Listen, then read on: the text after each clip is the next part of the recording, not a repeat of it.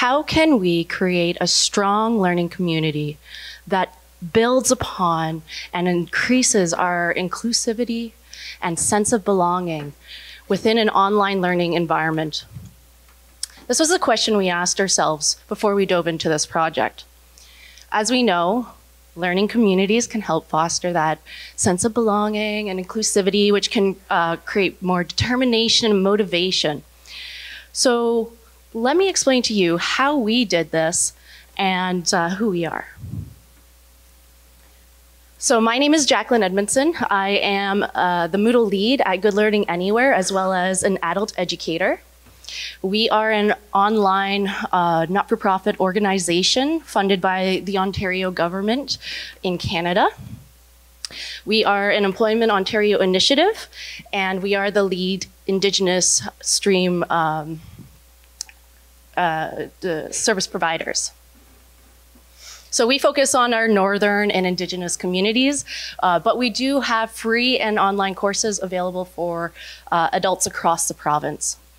We have an ongoing intake, so anyone who is interested in upgrading their uh, employment or their um, education or even just independent schools, they can come and take our courses. We have uh, both synchronous and asynchronous options. Um, but we really focus on mentorship. So our mentors, in our case, are our educators.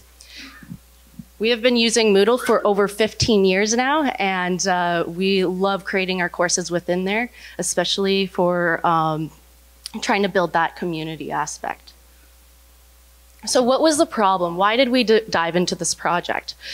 Well, in our case, we had too many contacts at one point. So it wasn't it, it, was more difficult for our learners to reach out who, to who they wanted and ask the questions and get those deeper connections made. Um, therefore, we weren't able to have those meaningful connections with our learners, but as well as between themselves, right? They weren't as comfortable. So in our case, what we wanted to do is we wanted to increase that sense of belonging. We wanted to make sure that they felt uh, those meaningful connections, and we wanted to dive into how we could do this. So this is kind of what it looked like before as a diagram.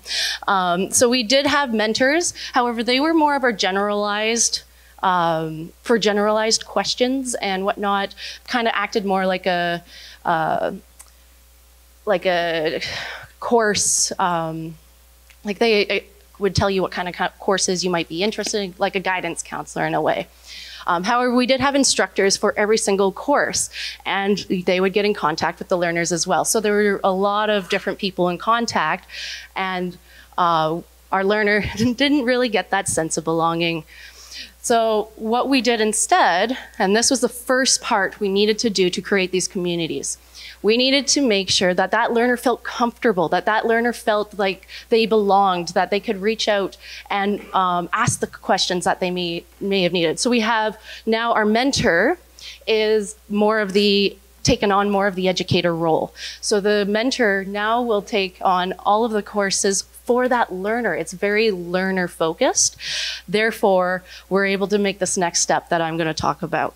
But if uh, a, if a learner had a question that the mentor wasn't able to ask, then that's when we would have our course support and the learner would not need to reach out to someone that they didn't feel comfortable with. So we came up with Mentor Role 2.0. This was the first step in order to create these communities because we were able to start using cohorts more than just with um, you know the syncing, syncing options. So what this did was it because uh, we were using the teacher roles previously. What this did was it allowed our mentors or our educators to have access to all of our active courses. So we limited the roles, um, the permissions for it. So it's a limited system role. And they can access all of the courses and focus in on that learner and check their progress, check, check their, um, you know, their responses and whatnot, and make those grading, that, uh, grade their activities, I should say. So that gave more autonomy to our mentors. That was the really important step to make before we could focus in on creating those communities. So what we did was we created communities per mentor and they're kind of like community courses. they act as a central hub for both our learners and our mentors. And this was a big step because we needed those cohorts to make this possible.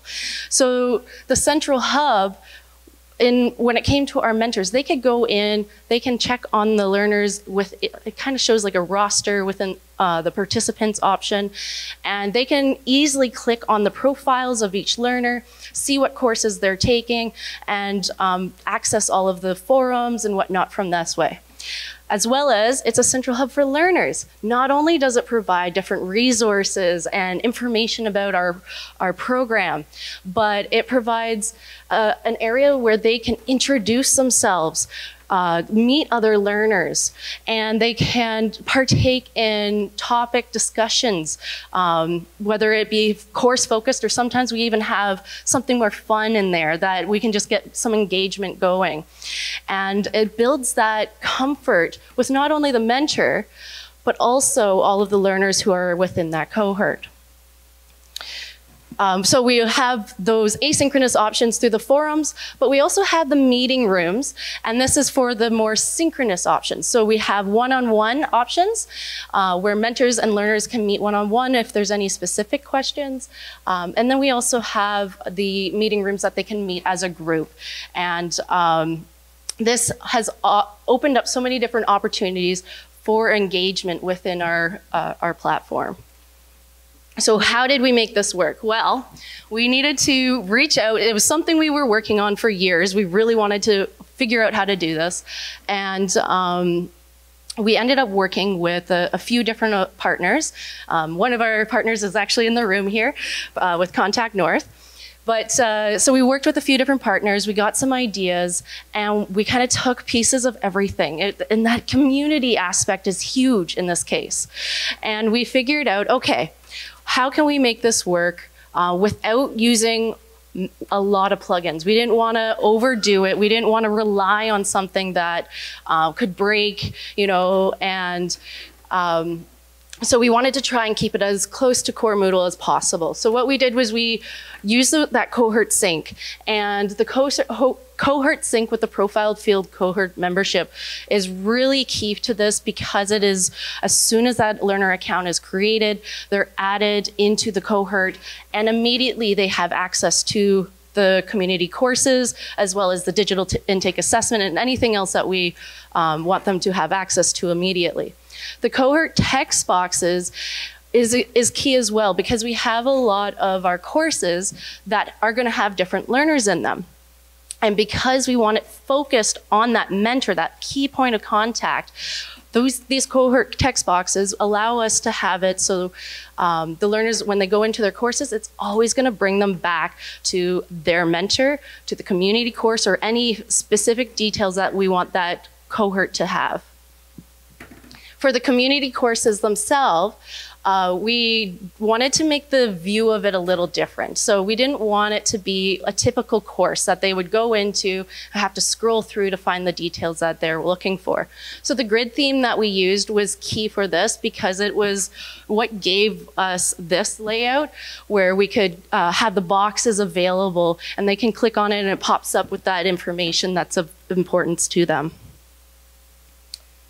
And then, of course, forum discussions, as you know, they're, they're key in this for our asynchronous options.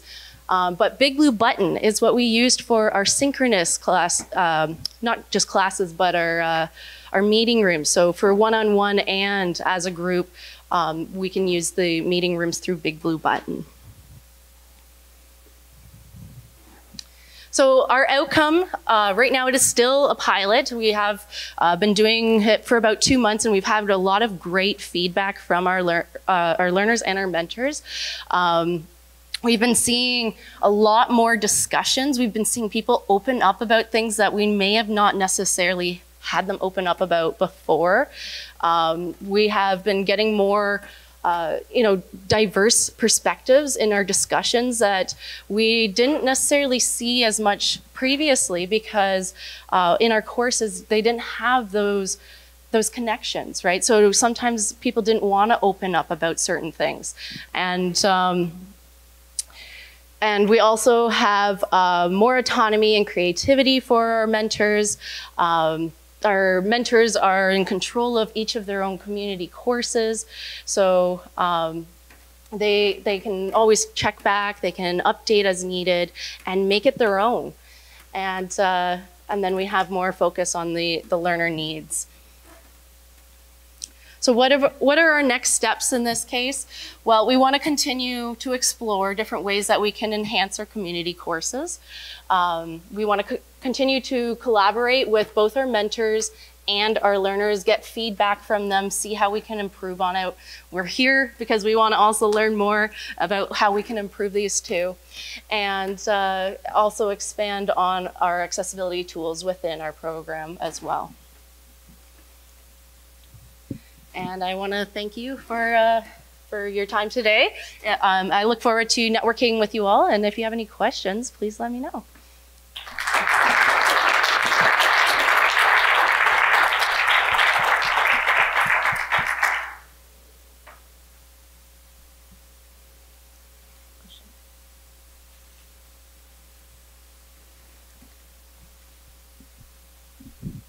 Thank you.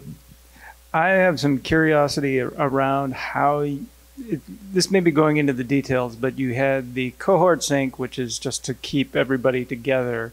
Yes. But you also had the profile cohort membership. Could you speak more to what that exactly is? Yeah, so uh, the cohort field, um, or sorry, the profile field cohort membership, it it allows you to change um, or add a manual piece to your, the profiles. So as soon as uh, an account is being created, it allows us to choose which cohort to add them to, and we have them all titled by the mentor names.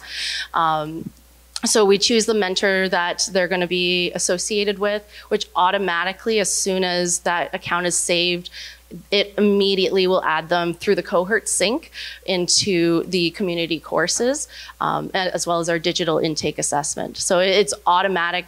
Um, once they're done, then it's a, it's a quick click of a button where uh, when we're getting them out of that cohort, we go back into their profile and uh, we change it. So it's, it's pretty quick and easy. And um, it's actually made it pretty convenient, effective, yeah. I hope that answered your question. okay.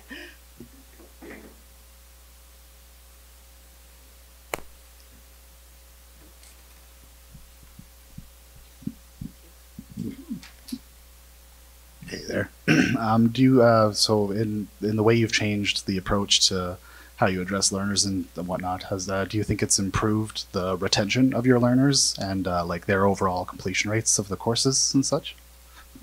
Right now, we don't have any statistical information on that, but in regards to people opening up and telling uh, their mentors, you know, this might be affecting my progress right now and whatnot, we've been seeing that a little bit more. Um, I'm myself as a mentor, uh, um, I've been seeing that more as well, where people are opening up about that.